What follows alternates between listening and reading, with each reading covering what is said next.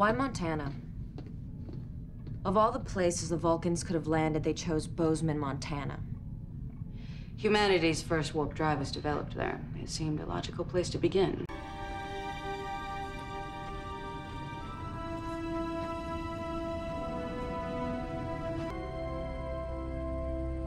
Live long and prosper.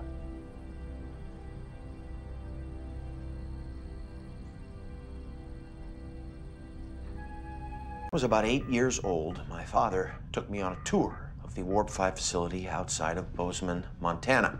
Scientists with names like Tasaki and Cochrane. From the dedication ceremony for the Warp 5 complex 32 years ago.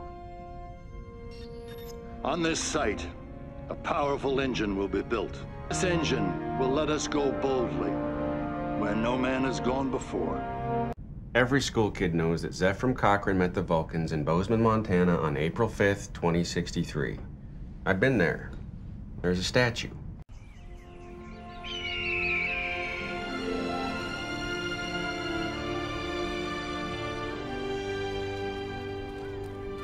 Hello, explorers, and welcome to the 21st century.